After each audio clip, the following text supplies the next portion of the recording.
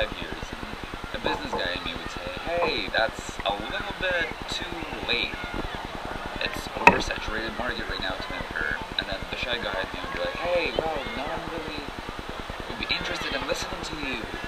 And then an awesome guy in me was like, hey, you realize how much cool stuff you do on a daily basis and you live in an amazing city. And why not just start a vlog?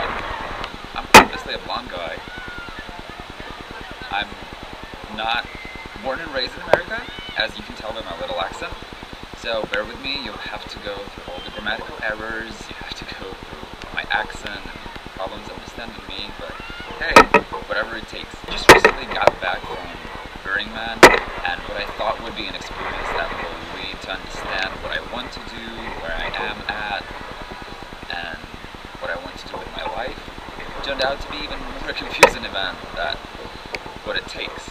Here are my little chimes with a burner in less than a week since I got back to New York. I went to a dealership, bought a car, because I felt like I wanted it. Was not really sure I want to work in an industry that I got my degree at, uh, if I want to live in New York, I want to move to San Francisco, if I want to continue the lifestyle that I had, do I want to change things? I'm a clear example of ADHD, wanting very many things all at once that do not really correlate to each other. So this vlog is going to be a self-discovery that you guys are going to be discovering this character sitting right in front of you alongside with me. And we're going to explore the different parts, the different facets of my persona, persona that I didn't know, that you didn't know. We guys can spark a discussion, that would be the best that I can ever ask you for. Your opinions on what I say and what I do. Um, throw in your ideas what you want to see, what you want me to talk about. Maybe you read about the sandwich shop in New York that you always wanted to see how is it inside, and I can go there and explore it for myself. Or a cool exhibition, or a museum, or some spot that you read about. I would be glad to do so. Today is October 1st, and it really got very, very, very cold in New York. My day started early. I was a little bit hangover after a concert last night. I headed down to, I had a modeling gig. So I headed down to Soho and I spent a couple hours and I met this guy who was carrying his GoPro around and he was just shooting for his family, everything that he does. And I'm like, hey, if I can bring that consistency to my life, that would be great. And I said, why not? The modeling gig was very good and it was very fun. Um, I got a new haircut, if you can see. Thanks guys, guys to TG for doing that for me. After that, I still recouping from last night's concert. Yesterday I went to the Bowery Ballroom to see Bob Moses. It was their first performance as a tour. They're going on a bus tour. I saw them before at Output, a nightclub Output, and, and at the party at Olympia Swan. But this was their first concert concert, which was amazing. All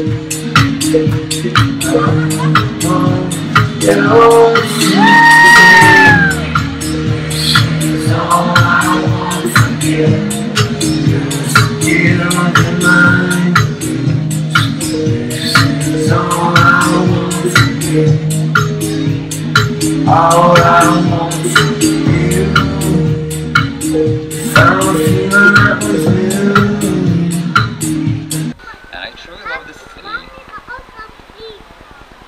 Sometimes you get tired of it, but it's an amazing city that you need to explore and you get to know only after a month or two of living here.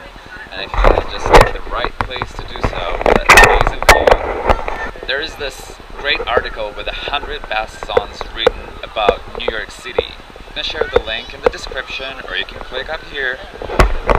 And it's an amazing list of 100 songs written about New York City. I do not agree with the number one song.